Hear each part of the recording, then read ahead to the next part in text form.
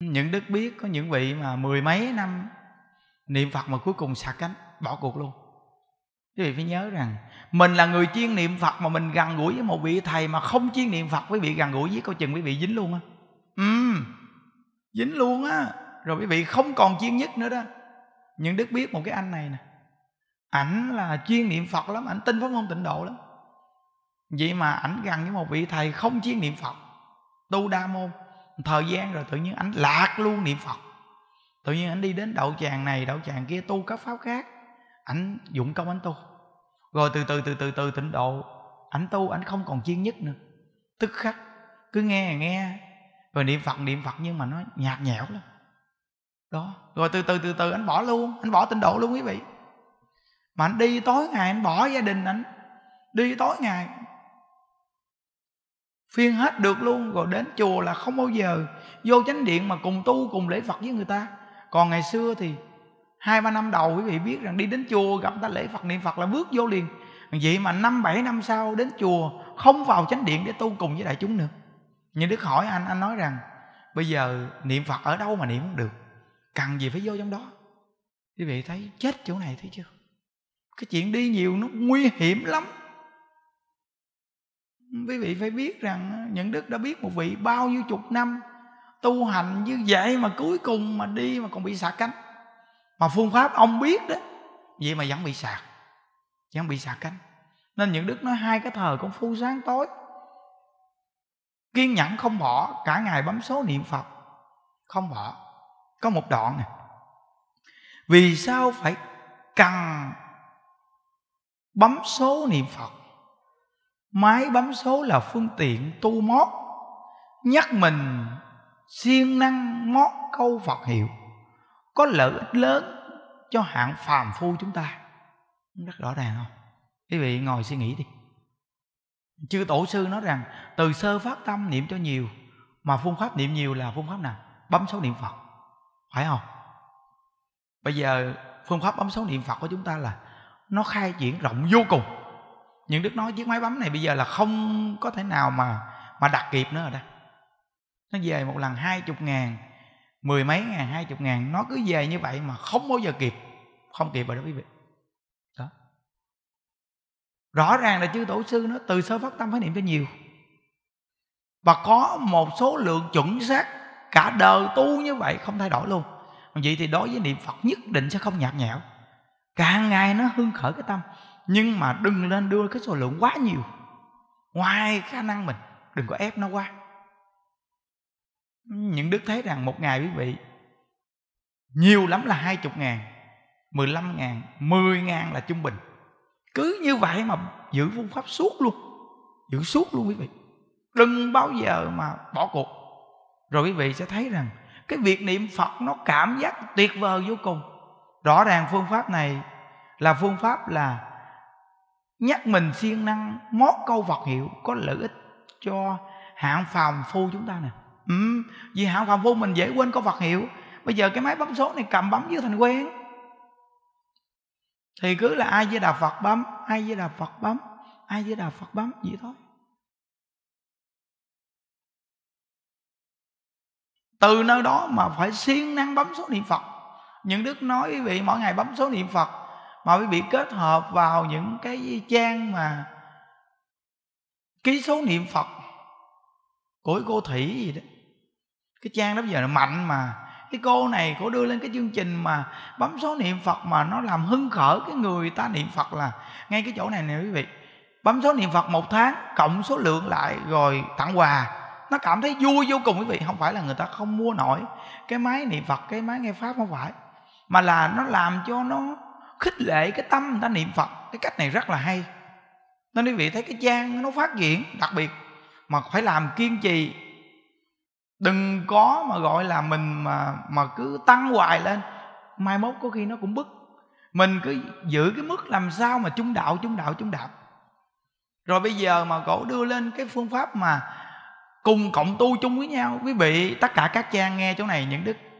Khuyên quý vị, mỗi một cái trang của mình là có bạn như vậy thì chúng ta rủ tới giờ cùng tu chung. Có nghĩa là nó thấy nhau cùng tu chung với nhau.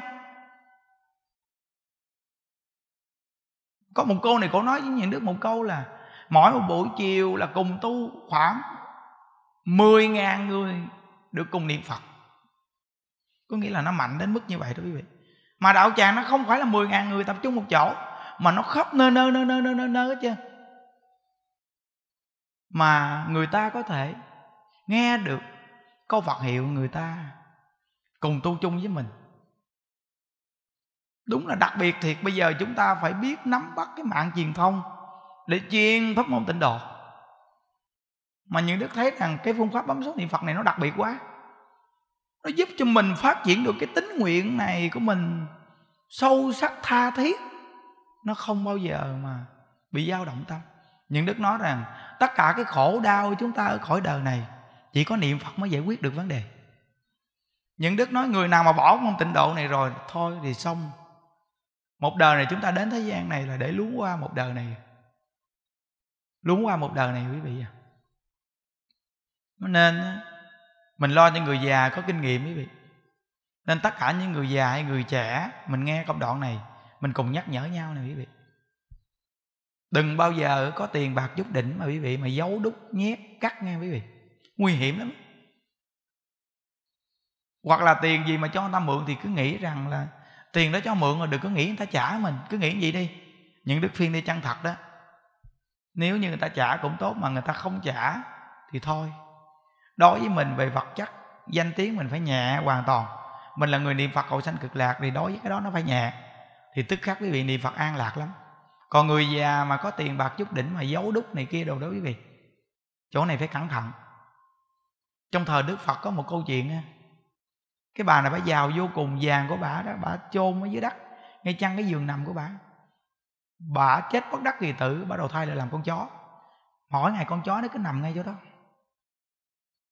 Đến khi mà đức phật đi cắt thực ngang vậy mà nó cũng chạy ra nó sủa. Đức phật thiết một bài pháp cho nó nghe mi đã tham nặng nề như vậy, bây giờ đầu thai làm chó rồi, mà còn giữ lòng tham này hay sao? Thì khi nó nghe đức phật dạy, thì con chó này nó buồn, nó bỏ ăn. Thì người chủ nhà mới hỏi người làm công rằng, tại sao con chó ngày nó lanh lẹ như vậy, mà bây giờ con chó tự nhiên sao mà nó bỏ ăn?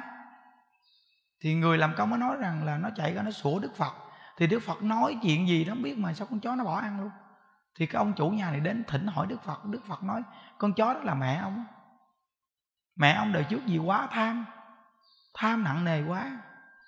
Bà có vàng bạc bà giấu ở dưới cái giường nằm bà đó. Khi bà chết đi, cái lòng tham nó chiêu cảm làm con chó. Ông coi phải là mỗi ngày con chó này, nó cứ nằm suốt ngay chăng chỗ cái giường của mẹ ông ngày xưa đã từng nằm hay không? Ông không tin ông về ông đào ngay chỗ đó, phải có vàng hay không? Về ông đào lên, vàng chôn với đó quá trời thì ông đến thỉnh hỏi đức phật như thế nào mới cứu được mẹ con? Thì đức phật phiên phải lo tu đạo, đem những tiền bạc đó bố thí cúng dường giúp đỡ tất cả người khổ đau, làm công đức hồi hướng cho mẹ. Ông chăng thật ông làm? Và ông chăng thật ông tu hồi hướng? Thì vài ngày sau con chó nó thoát hóa, thì sanh lên cõi trời. Và ông sau này tu cũng chứng quả luôn quý vị. Từ nơi đó quý vị phải biết rằng cái lòng tham nó đáng sợ lắm. Còn chùa mình có một bà cụ này nè mới nhận bà nè. Quý vị biết rằng bà ở trong một cái căn nhà sập sệ lắm. Bà lên đây bà ở hai tuần bà vui vô cùng. Một hai ngày nay tự nhiên bà buồn buồn. Thì hỏi bà bà nói rằng, có một số tiền nhét vô trong cái ống tre mà bây giờ ở đây không có lấy ra được. Định xin thầy cho người đưa về đó để lấy tiền. Mà quê bà nó xa lắm quý vị ơi. Hỏi số tiền bao nhiêu? Bốn trăm ngàn. Bốn trăm ngàn. Bốn trăm ngàn mà xin đi về. Đi về rồi quay lên tiền xe nhiêu? Chịu, vậy mà mỗi ngày ở đây buồn 400 ngàn nhét trong ống tre đó. Mà đi về lấy là mất một triệu. Quý vị thấy nguy hiểm không? Nên tất cả những người già hay người trẻ đồng tiền cho mượn đồng tiền cắt dấu. Khi cặn tử nghiệp của mình là tuyệt đối không bao giờ dính chỗ đó phải dính ai với đà phật mà muốn dính ai với đà phật thì cái tính nguyện này phải mạnh về ai với đạo phật mới được. Ôi, tất cả người già nghe chỗ này, cảnh giác nghe quý vị. Nên những đức nói rằng có của cải, tặng cho con cháu hết đi, không còn cái gì chứ. Không có đến nỗi đói, chết đâu quý vị, đừng có sợ. Thấy không? Từ nơi đó đó mà mình nghe gì rồi nghe. Phải cố gắng. Phải niệm phật, quý vị nghe lời tổ sư dạy không? Cái người mà có tính nguyện, niệm phật là nhất định không bị tà thiết kéo lôi, thấy chưa? Cái người mà niệm phật mà bị kéo lôi, bỏ tịnh độ là tà thiết kéo lôi đó. Bây giờ quý vị coi đức phật quyền ký, thờ một pháp niệm phật thành tựu. Bây giờ quý vị tu các pháp khác thì nó không thành tựu. Vậy thì bây giờ quý vị bị các pháp khác lôi kéo là phật nói tà thiết kéo lôi. Tà là hướng ngoại, quý vị. Niệm phật là hướng nội để cầu sanh cực lạc nhớ phật niệm phật là hướng nội. Tu đúng như cái pháp phật đã chỉ tịnh độ vậy là hướng nội. Còn ngoài tịnh độ là hướng ngoại. Tại vì sao? Đời này không thành tựu đó. Nên á, khi tính nguyện vững chắc là không bị tà thiết kéo lôi. Giả sử đang khi ta niệm phật bỗng tổ đạt ma hiện ra bảo phải bỏ tịnh tu. Tu theo thiền có thể liền giác ngộ thì cũng tư tạ không dám tưng lời. Đó như vậy thấy đặc biệt chưa? Tổ sư đạt ma là sơ tổ của thiền tông. Nếu nói về ấn độ thì không phải sơ tổ, nhưng nói về ngài qua bên trung hoa để mà truyền đạo thiền thì ngài là sơ tổ. Nên nhiều chùa quý vị coi đều là có thờ tổ sư đạt ma vậy mà tổ sư thiện hiện khuyên chúng ta nên tu thiền, thì có thể liền giác ngộ thì cũng tư tạ không dám tưng lời. Đó. Tại vì thời đại này không phải tu thiền thành tựu, mà là niệm phật thành tựu, phật đã chỉ dạy mà cả là đức bổn sư thích ca mâu ni chỉ dạy mà bây giờ động văn này tổ nhắc rằng, hay dù đức thích ca hiện thân, bảo có pháp môn khác hơn tịnh độ, dạy ta phải bỏ niệm phật để tu môn kia, ta cũng đảnh lễ mà từ khước. Giữ vững như vậy mới gọi là lòng tin sâu sắc. Ôi, công đoạn này quý vị mà nghe rồi thì Quý vị còn suy nghĩ gì nữa? Nếu đoạn văn này mà tổ sư mà các ngài nói không phải thì các ngài đọ lạc không có ngày ra luôn. Đoạn văn này mà, Tổ thứ 12 Ngài Triệt Ngộ Thiền Sư, Ngài nói mà, Nếu mà Ngài không phải là người tu Hành và chứng quả rồi, Mà Ngài nắm rõ ràng rồi, Ngài mà nói tùy tiện Thì Ngài đọ không có ngày ra luôn. Quý vị cứ yên tâm đi. Chư tổ sư đều là chư phật bồ tát thiện hiện đến để mà hằng hóa tịnh độ, để mà khuyến dẫn chúng sanh niệm phật đó. Nói đến mức này còn cái gì nữa quý vị? Tịnh độ mà chúng ta đọc những văn tự này, học tập thì quý vị coi còn cái gì nữa mà quý vị suy nghĩ một câu phật hiệu mà niệm chưa đủ. Nên người tu tịnh độ mà nói một câu phật hiệu niệm chưa đủ là cái tâm người này nói sao có nghĩa là họ tu mà họ gặp sự cố một cái là họ họ bị dao động tâm, họ phải tu cách này cách kia để mà họ mong cầu tiêu nghiệp. Những đức nói với vị nghe niệm bồ tát quán thế âm cũng giảng sanh về thế giới cực lạc. Nhưng mấy người nói niệm bồ tát quán thế âm để cầu giảng sanh? Tại vì cái nguyện tiếp dẫn là cái nguyện đức phật a di đà còn bồ tát quán thế âm, bồ tát đại thế chí là hai bên tả hữu. Từ nơi đó là nguyện của ngài là chúng sanh mười phương nghe danh hiệu ta là ai với đà phật. Bây giờ chúng ta cứ nhắm thẳng mục tiêu như vậy đi. Nếu chúng ta nói phương tiện nhiều quá, người ta sẽ chạy tùm lum hết chứ. Quý vị coi mấy người niệm bồ tát quán thế âm mà cầu sanh cực lạc. Quý vị coi lại đi hỏi lại lương tâm mình đi. Phải niệm bồ tát quán thế âm là cầu tai qua nạn khỏi, cầu an, cầu này, cầu kia không? Phải không? Hoặc là cầu cái này, cầu cái kia. Còn cái người niệm ái với đạo phật mới là người cầu sanh cực lạc. Mà đã là quyết chí cầu sanh cực lạc, thì tất cả những tai nạn, kiếp nạn, nó đến rồi nó tự đi. Như ấn tổ ngài nói, cái người mà niệm phật cầu sanh cực lạc có bệnh đau, tuyệt đối không có cái chuyện mà quay lại cái tâm niệm phật mà cầu hết bệnh. Mà phải tiếp tục niệm phật cầu sanh cực lạc. Nếu như thọ mạng còn thì tiêu nghiệp hết bệnh rất hay. Nếu như thọ mạng hết thì được giảng sanh về thế giới cực lạc. Quý vị suy nghĩ đi. Hai con đường này hoàn toàn là điều lợi ích, vô cùng viên mãn. Nếu như thọ mạng còn thì sống lại tiếp tục mà niệm phật nữa. Giảng sanh phẩm vị rất là cao. Như đại lão hòa thượng tịnh không? Sách số coi ngày 45 tuổi chết khi năm 45 tuổi, ngài bị bệnh, ngài buông xuống, vạn viên chí thành niệm phật. Nghe theo lời ấn tổ, thì ngày niệm phật gần một tháng thì hết bệnh, ngài tiếp tục giảng kinh thuyết pháp nữa. Bây giờ sống đến hơn 90 tuổi. Ngài nói bây giờ giảng sanh phẩm vị sẽ cao hơn năm 45 tuổi. Từ nơi đó mà lời ấn tổ dạy rất rõ ràng, quý vị. Còn phương tiện cho một số người người ta thích niệm danh hiệu khác. Bây giờ mình là người chuyên tu, mình đưa mạnh vào cái vấn đề là chuyên niệm phật đi để mà nó ăn sâu vào tâm khảm, người ta lâu ngày lâu ngày người ta niệm câu Phật hiệu này người ta sẽ có cảm giác. Tổ sư nói rằng, đem câu Phật hiệu này áp dụng trong cuộc sống hàng ngày, thì bạn sẽ cảm giác được pháp môn tịnh độ này vô cùng đặc biệt và câu Phật hiệu này tuyệt vời vô cùng, bạn sẽ không bao giờ bỏ câu Phật hiệu. Còn nếu như bữa nay bạn niệm phương pháp này, ngày mai bạn niệm phương pháp kia, bữa nay bạn nghe cách này, ngày mốt bạn nghe cách nọ, rồi xong luôn. Bạn đứng giữa ngã tư đường. Người nào nói cũng có một cái lý, nghe cũng được nhưng mà cuối cùng nhiều lý quá rồi bạn biết chọn cái lý nào đấy bây giờ đường trước mắt đường nào cũng là đường đặc biệt bây giờ đi con đường nào? Phải chọn một con đường mà đi chứ quý vị. Không? Từ nơi đó mà có khi mình đọc lời tổ mình không chịu quy tâm thành một mà mình đọc và mình đọc theo cái phương tiện mà các ngài dẫn dụ nhiều chúng sanh mà mình đi hướng theo như vậy. Các ngài có khả năng nhưng mình không có khả năng. Mình hướng theo viết rồi có, có khi mình đơ luôn á mình lại trách các ngài. Mà không phải. Mà là do chính mình không biết cách học. Chính mình không biết cách học quý vị à. Phải nhớ đó. Những đức tin chắc rằng một câu ái với đạo phật này quá đầy đủ à. quý vị coi nghe, chư tổ sư nghe. Không bao giờ có cái chuyện mà nghiêng về những hướng khác.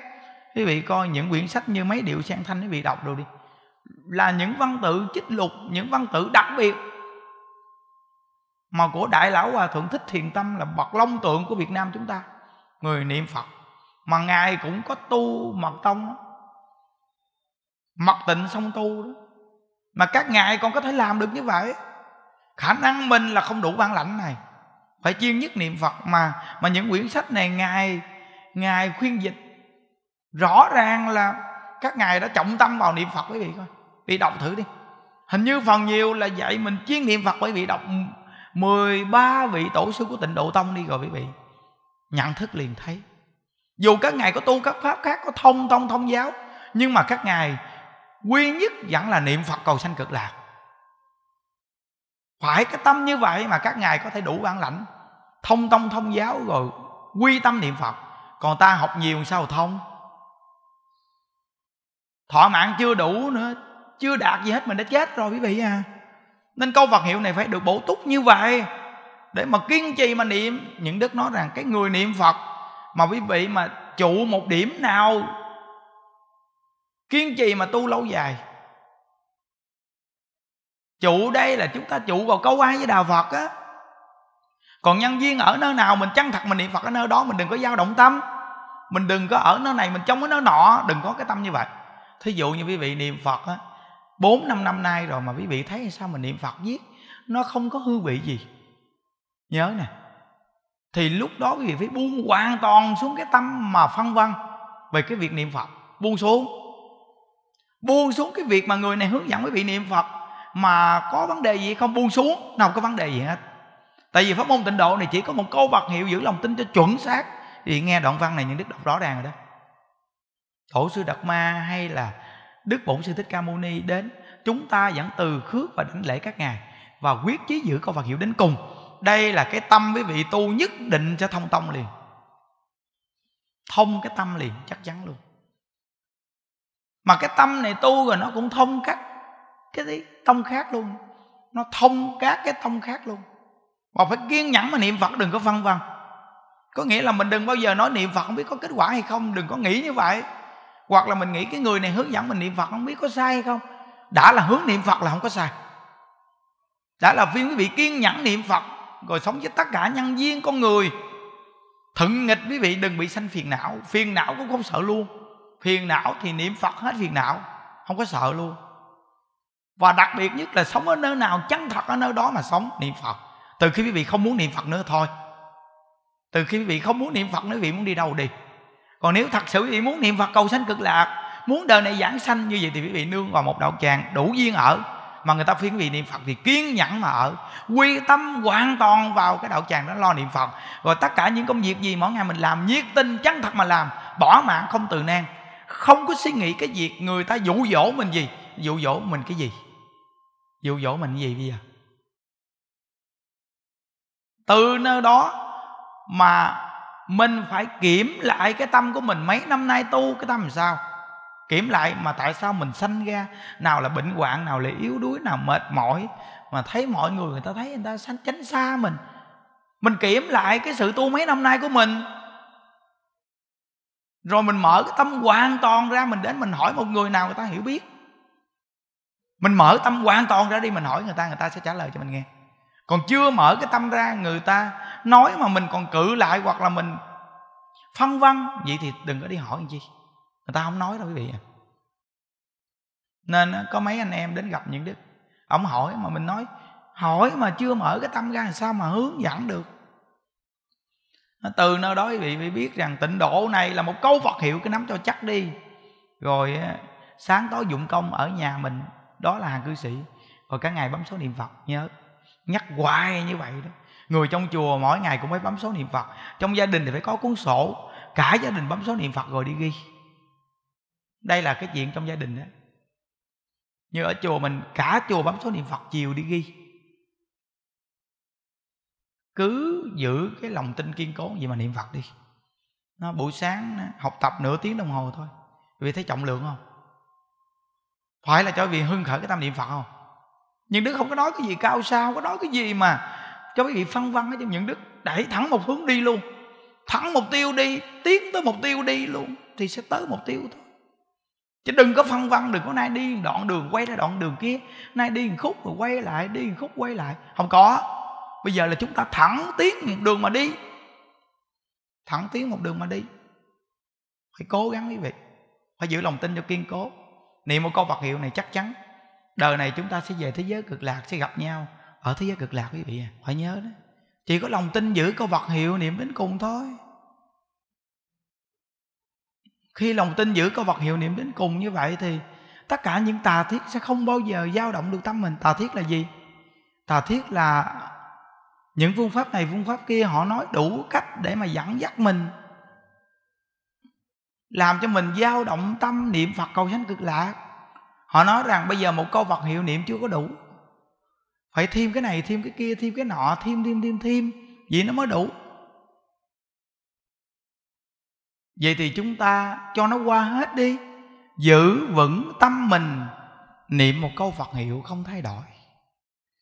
Phải nhớ, nếu quý vị mà giữ được tâm như vậy, cái khổ đau thế gian này, hiện tại quý vị cũng nhạt nhẽo với cái khổ đau đó nhạt và tất cả những sự mà thương ghét, nó cũng nhạt luôn quý vị à. và việc đẹp xấu nó cũng nhạt luôn nhạt nhưng mà mình hiện tướng như thế nào?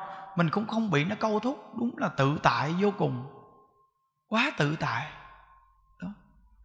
Nên nó chư tổ nhắc mình là chúng ta tu tịnh độ lòng tin quý ở nơi sâu chí nguyện quý ở nơi thiết. Do tính nguyện sâu thiết, nên tất cả tà thiết không thể lay động. Tất cả cảnh duyên không thể kéo lôi. Không? nên tại sao mà chúng ta tu vài năm rồi chúng ta bỏ tịnh độ? Đoạn văn này tổ dạy rõ ràng. Vì người này lòng tin chưa sâu sắc, chưa tha thiết đối với tịnh độ. Nhất là cái chuyện đi nhiều đi chỗ này, đi chỗ kia, nghe chỗ này, nghe chỗ nọ là thế nào cũng bỏ cái môn tịnh độ. Thế nào cũng bỏ tịnh độ. Nhưng đức thấy rồi, rất là nhiều người. Chỗ này chúng ta nhắc nhau nghe quý vị. Cả quý vị đi hộ niệm mà có khi quý vị cũng xả cánh luôn đó. Đó là đi niệm phật đó. Coi chừng cũng xả cánh đó phải cảnh giác cái chỗ là đi giết coi chừng thành đi vui. Ừ. Đi vui. Thêm cái nữa đi rồi nam chở nữ nữ chở nam giết rồi. Có chuyện đó. Chỗ này là chúng ta nhắc nhau nghe quý vị. Rồi ngủ qua đêm đồ để hộ niệm đồ. Ngủ chỗ này ngủ chỗ nọ. Phải hết sức là cảnh giác chỗ này. Có chừng đi giết rồi chúng ta bỏ chồng bỏ vợ ở nhà bỏ gia đình. Phải hết sức là cảnh giác chỗ này nha quý vị.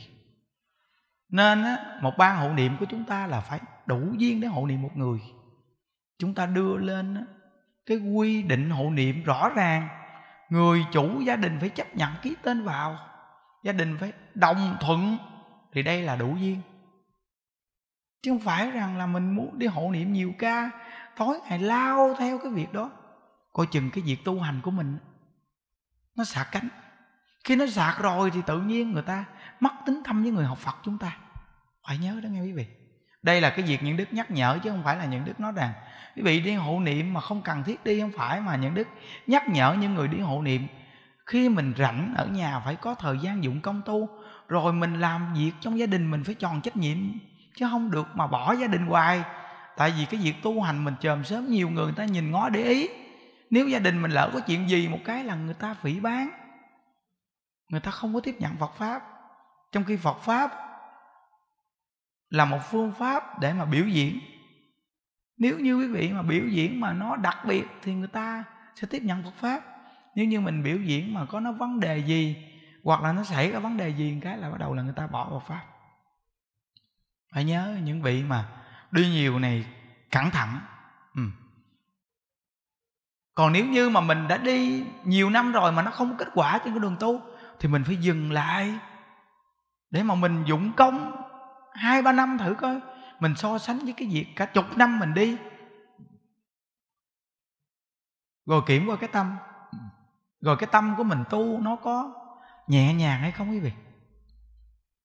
Nhớ, nó có nhẹ nhàng không? Mười mấy năm tu tịnh độ mà đi quá trời luôn, coi coi cái tâm mình càng tu nó có dịu hay là nó thô? Rồi cái ngã của mình có giảm hay là nó tăng lên? Nếu nó tăng lên, vậy thì mười mấy năm này thất bại. Nếu mà tâm này nó thô, ai nói đến cái là dễ sanh phiền não. Hoặc là nghĩ mình làm được việc lớn lao, vậy là thô. Vậy thì phải quay lại để dụng công. Dụng công chừng nào những cái thứ đó nó dịu hoàn toàn. Đối với việc được mắt, khen chê, thương ghét chúng ta không có bị nó buộc ràng nặng nề. Gì thì quý vị cứ tiếp tục dụng công đó, đây là cái chỗ mà chúng ta nhắc nhau để mà cùng nhau tu hành quý vị. Yeah. À, vì phật pháp á, là một nền giáo dục mà. Con người thì phàm phu ai cũng có cái sai nhưng mà mình phải có cái sự nhận thức để mà mình chỉnh sửa mình học lại cho nó đàng hoàng. Cứ là mình muốn sửa đi thì từ từ nó sẽ tốt mà. Đó rồi những đức thấy rằng trên chánh điện bên đây của chúng ta nè. Lúc trước khi tu xong rồi, cứ đi ra từng hàng từng lối, nhưng mà khi lâu những đức không nhắc một cái, bắt đầu nó phá hàng lối liền. Có nghĩa là mình còn hiện tại ở đây, mà cái gì mà nó không nhắc một cái là bắt đầu là nó rối liền nói gì? Có khi những đức để ý, vừa tu xong nha, chúng tăng chưa bước ra thì hàng cư sĩ đã quay mặt đi trước rồi. Quý vị coi, rõ ràng. Cái hành động tuy mỗi ngày nói niệm phật giảng sanh, nhưng những cái hành động này nó quá kém cỏi. Tuy là được nghe hoài, nhưng mà họ nghĩ rằng là không quan trọng. Không phải đâu quý vị à. Cái hành động này nó thành quen. Một cái sai lâu ngày nó thành quen. Đến khi mình gặp một vị trí nào khác, mình sẽ có hành động như vậy thì tức khắc người ta hỏi mình, đã học với ai? Có nghĩa là quý vị biết rằng mình ở đây là mình chỉ rất cặn kẽ, rất rõ ràng quý vị. Nhưng mà do mỗi một người học tập, cái khả năng để mà muốn phát huy thì nó khác nhau là như vậy. Quý vị biết rằng sống trong nguyên một cái hội chúng. Dù là những đức hay hòa thượng có cố gắng để mình muốn đào tạo người để mà lo cho ngôi tam bảo được, nhưng xin thưa quý vị rằng, quý vị có kiếm hết chùa cũng khó tìm ra được một người. Khó tìm vô cùng. Để gọi là một người mà tỉ mỉ, khi gần gũi với tất cả nhân sự, mặt trái, mặt phải mà để nhận thức được chỗ học về trái chỗ học về phải. Quý vị khó vô cùng đi tìm được một người như vậy. Theo những đức nhận thức thì, nếu như một người làm chủ gì hay là chủ gia đình nhất định phải có khả năng này, thì cái nơi đoàn thể đó mới đặc biệt. Đối với mặt trái, họ có thể học được. Đối với mặt phải, họ học được luôn. Đối với nhân sự con người nhân sự nào họ gần gũi cũng được. Nhưng ở trong đó họ không bị ô nhiễm vì thì người này mới là người đặc biệt làm được việc lớn. Chắc chắn. Từ nơi đó, những đức để ý rằng mình cố công mình có sắp xếp cỡ nào đi chăng? Nhưng mà chỉ cần một cái việc gì đó quý vị, một thời gian không nhắc đến là bắt đầu cái chỗ đó lưu bu liền. Thì quý vị biết rằng phàm phu chúng ta, nghiệp chướng nặng nề, thiện căn thì cạn mỏng. Những đức từng kể rằng, đi vào trong đạo tu hành, có người thầy nào mà thường dạy mình đâu. Những đức đã trải qua hai vị trí. Có người thầy nào mà thường dạy mình, mà ai mà thường cầm tay dạy mình? Cái khả năng học tập là cái khả năng chú ý. Cái khả năng chú ý từ nơi đó mà những đức thường nói với người nam phải tập mình là người nam, đừng có ăn dụng dụng dằn dằn mình là người nam như vậy đó, phái nữ nó thấy kính trọng. Đừng có ăn dụng dụng dằn dằn dù nó mua cho mình đi chăng nữa, mình ăn cũng không có ăn bao nhiêu chứ. Thật sự là mình không muốn ăn luôn. Dụng dụng dằn dằn là không muốn ăn luôn. Lâu lâu họp gì ngồi ăn một chút xíu đó. Chứ làm gì mà mình là người đàn ông mà như đàn bà mà ăn dụng dụng dằn dằn còn đối với mấy nhỏ gái thì mình đã biết nó rồi nên mình đã lo thì mình phải có một cái góc độ nhìn. Nhưng mình là người đàn ông, người xuất gia hàng cư sĩ nam. Đừng có tập ăn dụng dụng dằn dằn. Dù nó có mua cho mình mình cũng không ăn nữa. Từ khi là lâu lâu mình hợp mình ngồi mình ăn rõ ràng, mình sắp xếp công việc gì đó. Những đức nói rằng, quý vị biết rằng, ở đây mà không có những đức thì thôi rồi, xong nhờ gịch dây dụi hoặc là phương tiện cho họ sống vì mà lâu lâu còn bức từ nơi đó mà không có những đức thì thôi rồi, đố mà ai mà giật dây dụi ai. Làm tầm bậy hết trơn. Nó, nên, những đức, xin thưa quý vị, những đức cũng là kẻ phàm phu vẫn còn sai. Nhưng mà không bao giờ cái chuyện những đức dính vào hướng nào mà nó nhiễm hoặc là nó lúng, không có. Những đức đều bước lên được hết. Nhưng mỗi lần những đức bước xuống như bùn, những đức bước lên thì những đức cảm thấy kinh nghiệm kinh nghiệm vô cùng vì sao? Vì đây là bùn. Phải bước lên liền. Con người ai cũng có cái dấp ngã. Nhưng cái đặc biệt là quý vị bước lên được hay không? Đây là chỗ quan trọng. Nhưng đức xin thưa với quý vị, một con người sống ở cõi đời này, đừng bao giờ sợ mình dấp phải hòn đá hoặc là dấp phải dũng bùn hoặc là sụp hố gà. Đừng có sợ. Có nghĩa là con người nó phải trải nghiệm qua chỗ đó. Con người nó mới trưởng thành được. Xin thưa với quý vị bất cứ một người nào hướng dẫn chúng ta mà họ nói rằng họ chưa từng trải nghiệm gì hết. Vì thì người này rất cục bộ quý vị coi. Một người mà tu từ nhỏ đến lớn, từ khi là người này thông pháp. Nếu như người này họ không thông pháp về cái cách đối nhân xử thế của họ họ học phật, họ sẽ dùng hoàn toàn tri thức rất nhiều. Họ dùng tri thức nhiều. Tri thức là họ khéo léo. Họ có thể trước mặt họ khéo léo vô cùng. Nhưng mà về cái việc mà đối nhân xử thế thì không cao. Vì sao? Vì từ khi còn nhỏ chưa trải nghiệm được đời. Chưa trải nghiệm được đời. Nên cái việc mà đối nhân xử thế, cái góc độ nó rất còn chậm. Và người thường ngồi phía trên ít bao giờ nhìn được phía dưới, tổng thể. Nên con người nó từng trải một chút, thì tức khắc quý vị sẽ biết đặt mình vào người khác một phần nào rất nhiều nên người xưa nói, một vị tú tài, từ khi học và đến khi làm quan, đều là cầm ngòi bút thì làm sao biết cái khổ của người nhà nông?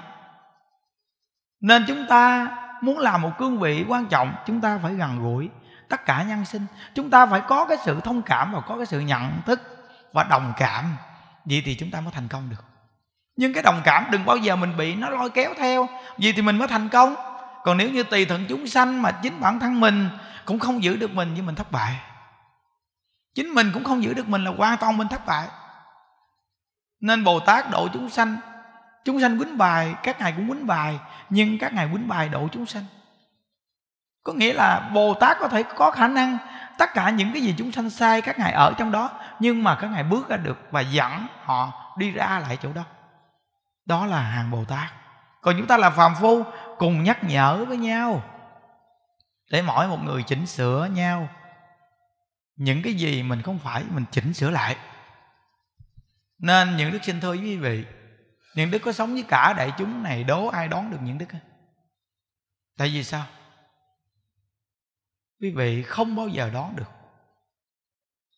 Dù là một cô, một chú nào ở bên cạnh những đức, thiệt lâu đi chăng nữa quý vị cũng không đón được những đức nữa.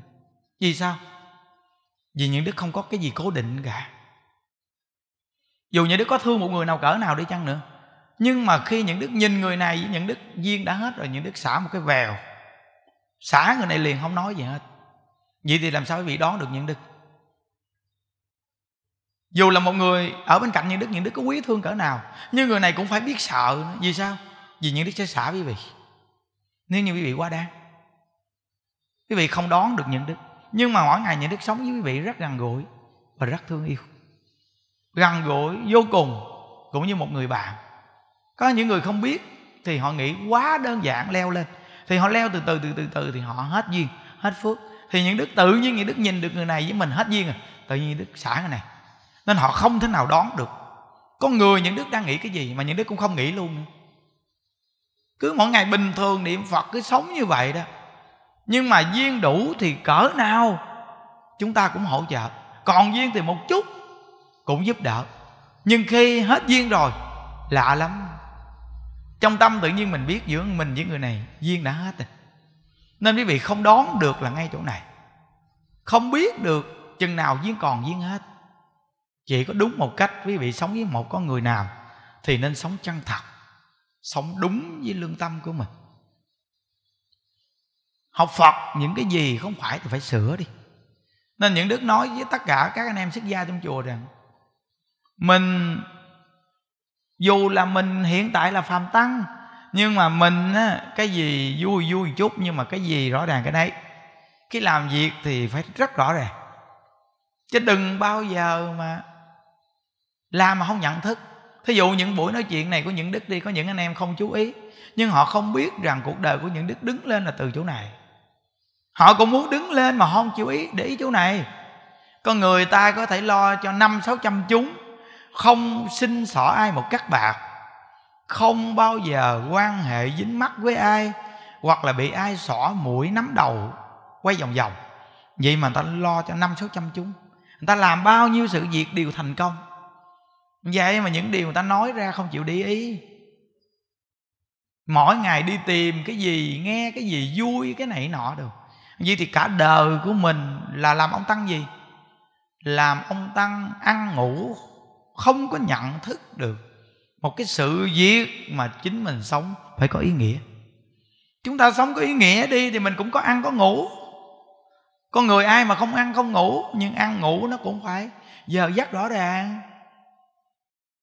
Thật sự mà nói mình mang cái tiếng xuất gia có khi mình ngủ hơn lố giờ hàng cư sĩ người ta thức người ta đi làm việc.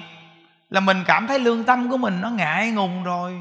Không chi mà mình mở cửa chàng quạt ra, mình nằm mình ngủ. Hàng cư sĩ người ta thức người ta đi làm việc quá trời luôn. Mình nằm đó mình ngủ vậy mà lương tâm của mình nó không có một chút gì. Cấu xé lương tâm mình sao? Tuy rằng mình không có làm cái chuyện mà mình đi làm cho tổn thương lương tâm mình, nhưng mà mình cũng có cái sự thôi thúc lương tâm mình.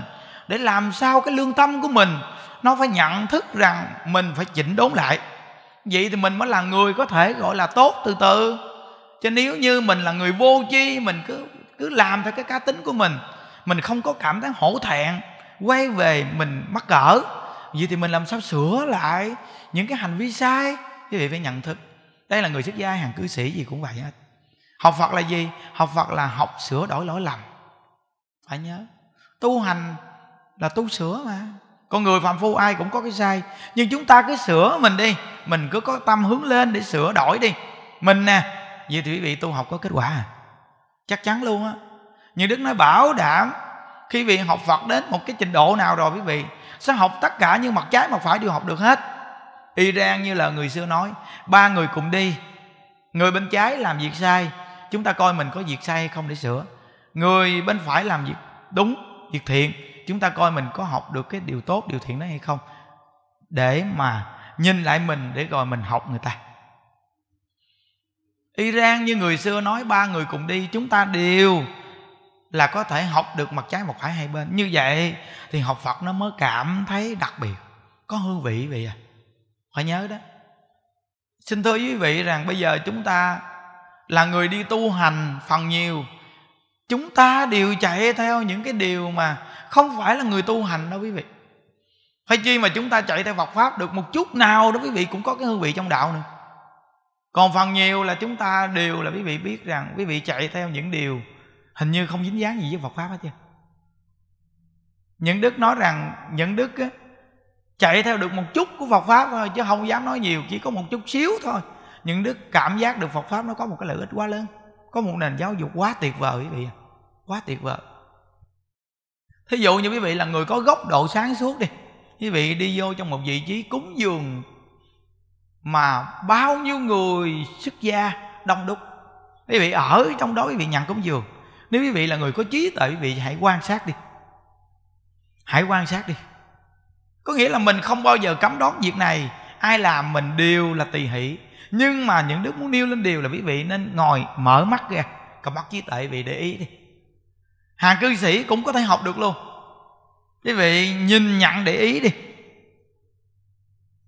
Để ý. Rồi quý vị mới thấy rằng người tu hành của chúng ta hình như bây giờ đang làm cái việc nó không dính gì về cái chuyện giải thoát hết chứ. Không dính vào việc giải thoát nữa. Tu từ từ từ từ rồi chúng ta cứ lo cái chuyện cuộc sống cơm ăn áo bạn, à. thì nó có khác gì thế gian bên ngoài đâu quý vị. Nó có khác gì đâu. Nó đâu có cái tâm dẫn dắt mình giải thoát làm chánh hạnh đâu. Từ nơi đó mà tổ sư khi sắp sửa ra đi, thì đại sư liên trì để lại chăng thật niệm phật. Hãy làm người chăng thật niệm phật đi. Dù cho đọc muôn kinh vạn lượng trong thời mạt pháp này, nhưng mà chúng ta cũng không bằng niệm một câu phật hiệu đâu.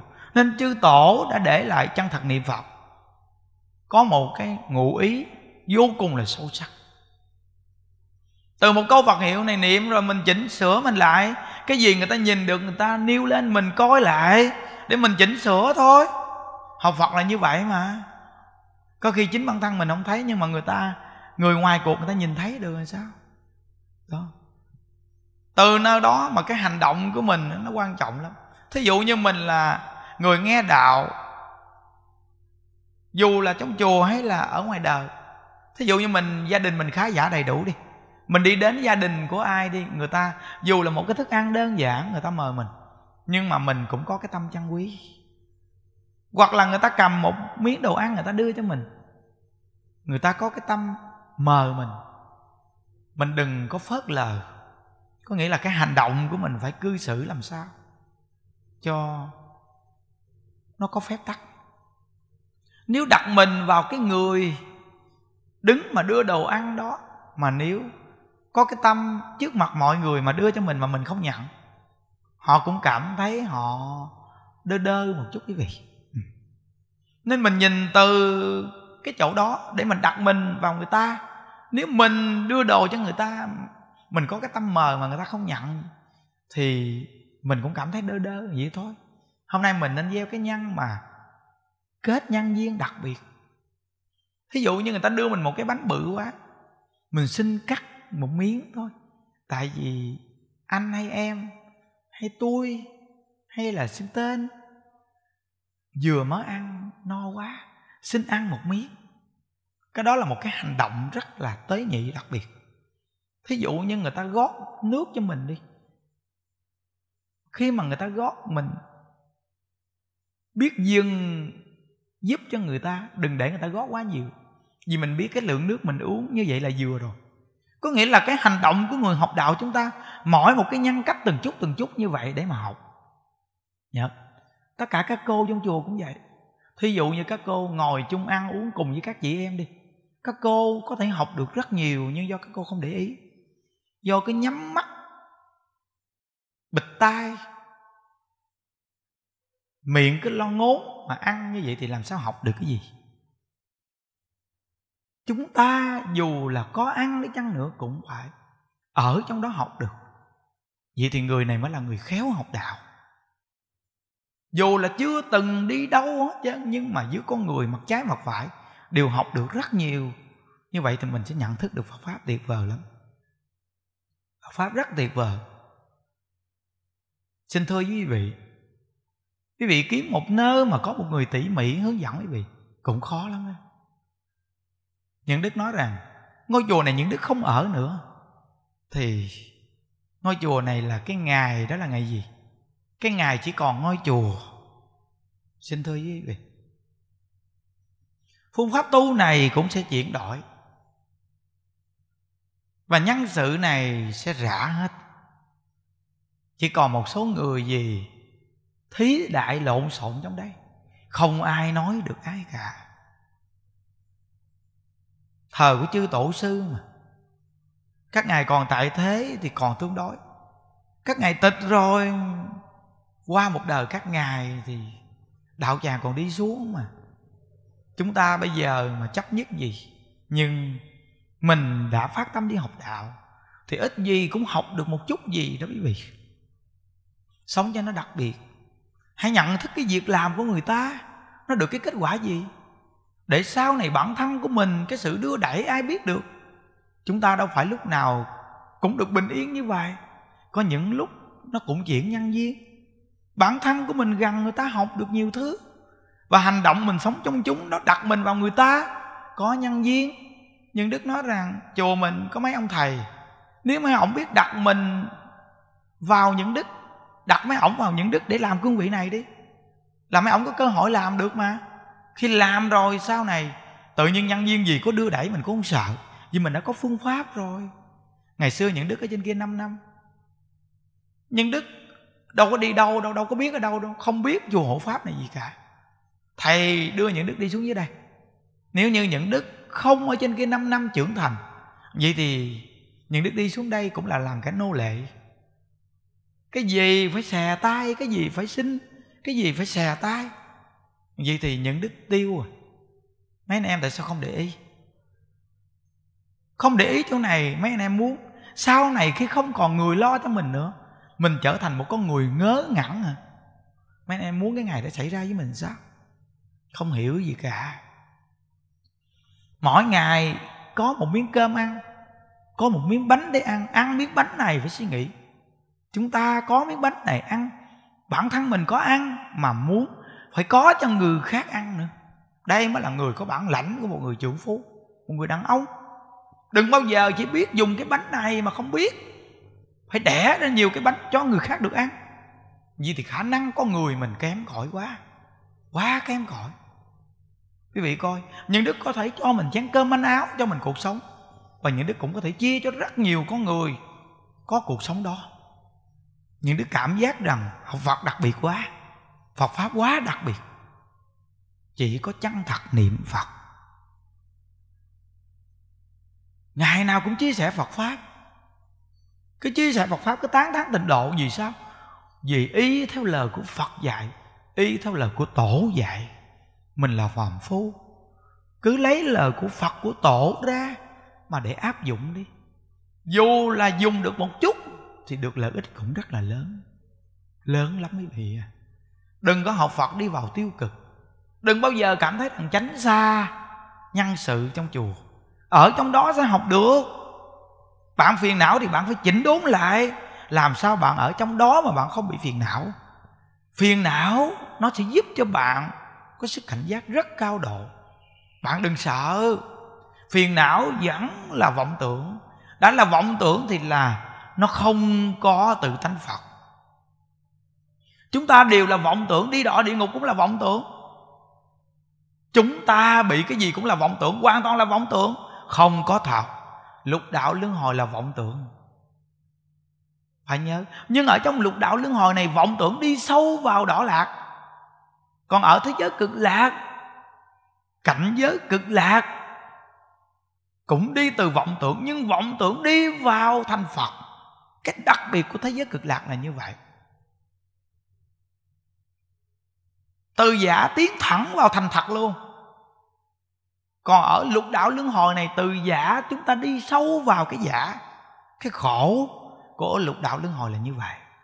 Đều là vọng tưởng. Đừng nên sợ bị phiền não. Mỗi lần phiền não là mỗi lần một lần kinh nghiệm. Giống như mỗi lần chúng ta dấp phải, thì mỗi lần là kinh nghiệm để đứng lên, sẽ trở thành kẻ mạnh thật sự những điều chia sẻ này, nếu người nào là người trải nghiệm, người nào là người hiểu biết một chút, thì vị thấy trân quý vô cùng. Vì sao? Vì rõ ràng, ông thầy này có sự trải nghiệm. Và ông thầy này ông không sợ bị phiền não, ông không sợ bị những sự việc đến với ông vì sao những đứa không sợ? Vì những đứa biết đây là vọng tưởng mà sợ cái gì? Đó là vọng tưởng mà. Dù có bỏ thân này, nó cũng là vọng tưởng thôi. Từ nơi đó câu phật hiệu này tổ sư đã nhắc nhở, nên chân thật mà niệm khi sắp sửa giảng sanh để lại một câu cho đệ tử chân thật niệm phật. Người đệ tử chân chính học phật là người chân thật niệm phật. Mình là người học phật mình phải chú ý.